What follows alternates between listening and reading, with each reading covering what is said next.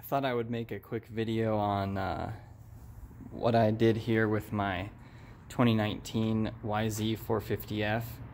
I actually um, am going to be making this bike street legal. Uh, here's the extra set of wheels that I have with some dual sport tires on them. They're just stock 2019 450F wheels and calipers, everything. And um, as you can see, I've got my headlights right here up front mounted on the fender. They're nice and solid. These are my blinkers. And uh, I mounted the horn behind the number plate down in here, and that's where all my wiring is as well. Here's the switch that turns everything on and off.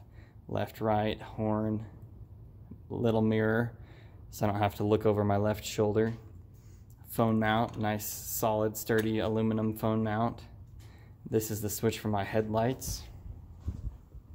Tail light is right underneath the fender here. What I actually did is I ended up sticking some Velcro on it, but as you can tell, it's not going anywhere. I mean, it's really, really stuck on there. It's wrapped all the way around. And uh, I did one strip of Velcro all the way down, and that's where my actual cable for the tail light is attached, is right there and I ran the wiring just uh, in the stock position all the way through and back to the battery which is underneath the rear seat. But I'll show you what it looks like with the lights on.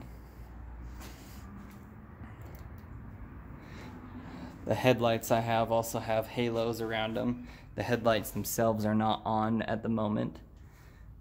But uh, those are the two blinkers up front around the forks. If I do blinker to the left. That's what it looks like. And in the rear, same deal.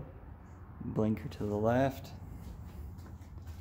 And uh, this is going to be kind of tricky, but I'll try to get a video of it. So with my rear brake, my front brake, when I push the front brake, this brake light comes on. I just did it uh, right here with this um, little sensor right here on the front brake. Didn't want to run one all the way to the rear brakes, I just did it on the front. I don't think uh, Highway Patrol is going to care about that too much. Maybe they will, I guess I'll find out.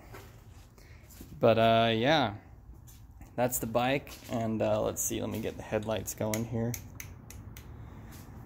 That's what the headlights look like. I need to aim them down a little bit, but they're pretty dang bright.